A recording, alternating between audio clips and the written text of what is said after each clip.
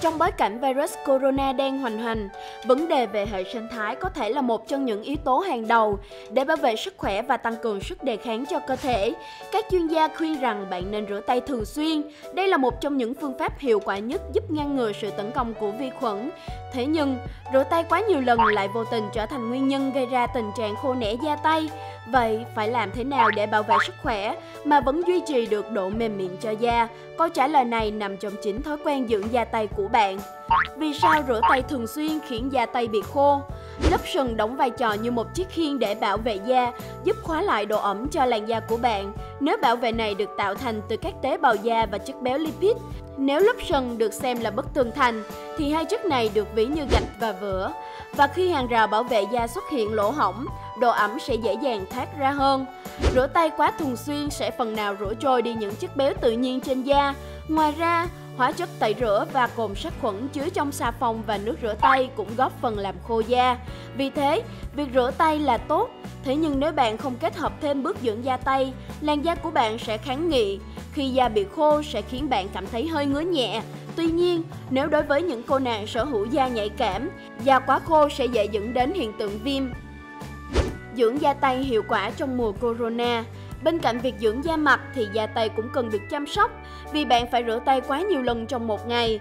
Thử rửa tay với nước ấm, Rửa tay bằng nước quá nóng hoặc quá lạnh đều không tốt cho da. Hơn nữa, nước nóng còn tăng khả năng làm khô da của bạn. Đây cũng được xem là tác nhân gây ảnh hưởng xấu cho làn da nhạy cảm.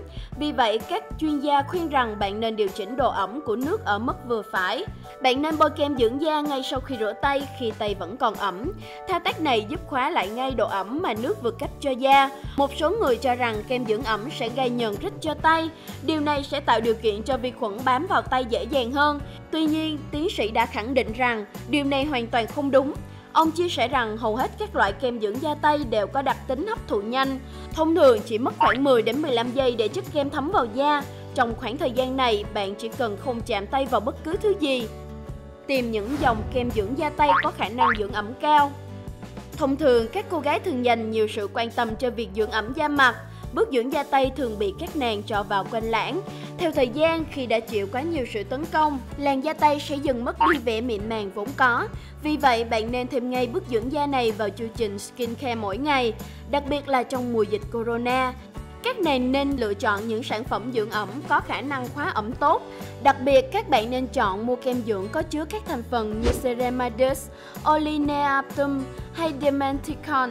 Những chất này giúp củng cố hàng rào bảo vệ da, đồng thời ngăn chặn sự thoát nước ở da. Ngoài ra, các thành phần như axit hyaluronic hoặc glycerin có khả năng tăng cường và giữ nước cho da đeo bao tay khi tiếp xúc với các chất tẩy rửa. Những chất tẩy rửa mạnh là một trong những tác nhân hàng đầu gây khô tay. Không những vậy, các chất này còn có khả năng dẫn đến tình trạng kích ứng và viêm da nghiêm trọng. Vì vậy, bạn nên chú ý bảo vệ kỹ đôi tay khi phải tiếp xúc với những chất tẩy này. Ví dụ như nước rửa chén, xà phòng giặt hay nước lau sàn, bạn nên đeo găng tay khi sử dụng những sản phẩm này.